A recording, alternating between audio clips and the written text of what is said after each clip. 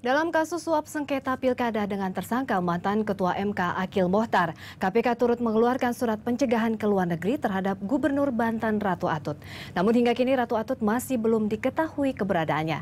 Dan untuk mengkonfirmasi keberadaan Ratu Atut, kita bergabung dengan reporter Nesya Megawati di kediaman Ratu Atut di Kebon Jeruk, Jakarta Barat.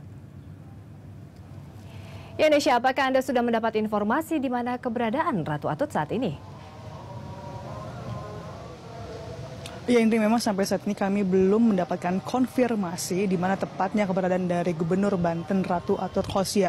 Dan memang saat ini memang saya berada di rumah atau kediaman Ratu Atut yang berada di Komplek Interpon Jakarta Barat. Dan sejak tadi pagi memang sudah aktivitas uh, uh, di aktivitas di rumah ini uh, kira-kira sekitar ada puluhan mobil berplat B dan juga berplat A uh, bertandang atau bertamu uh, masuk ke dalam rumah yang berada di Komplek Interpon Blok U1 nomor 99.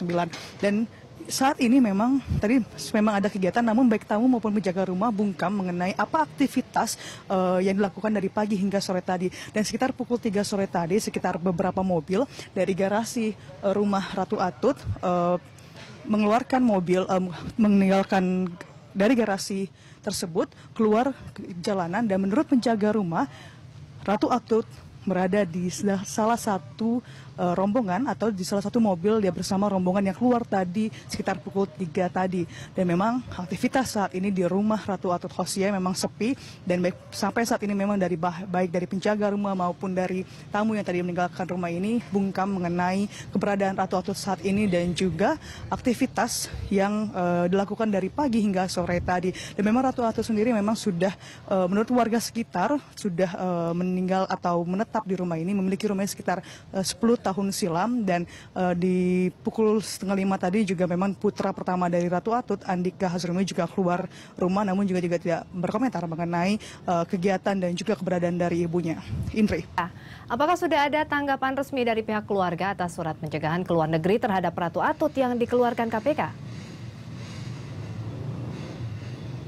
Ya, Indri baik dari pihak keluarga maupun dari pihak atau dari Ratu Ratu Atut memang belum uh, belum memberikan tanggapan mengenai pencegahan uh, atau uh, pencegahan ke luar negeri dari dari KPK untuk Ratu Atut yang berlaku dari 3 Oktober sampai dengan 6 bulan ke depan. Dan mengenai ini memang uh, mengenai keterlibatan Ratu Atut dalam kasus yang menjerat adiknya tuh Bagus Hairi Waradana dan juga Ketua MK mantan Ketua MK maksud kami Akil Mutar memang belum uh, belum diketahui apa uh, keterlibatan dari Ratu ini. Namun jelas memang Abraham Samad Ketua KPK menegaskan bahwa KPK akan memeriksa Ratu Atut dalam kasus yang menjerat adiknya dan juga uh, pemeriksaan atau pencegahan Ratu Atut karena kan KPK akan memeriksa Ratu Atut secara intensif, namun memang kami belum bisa mengetahui apa keterlibatan Ratu Atut dalam kasus sengketa Pilkada Lebak Banten. Indri. Ya, terima kasih Nesya atas laporan Anda. Nesya Megawati melaporkan langsung dari kediaman Gubernur Banten Ratu Atut.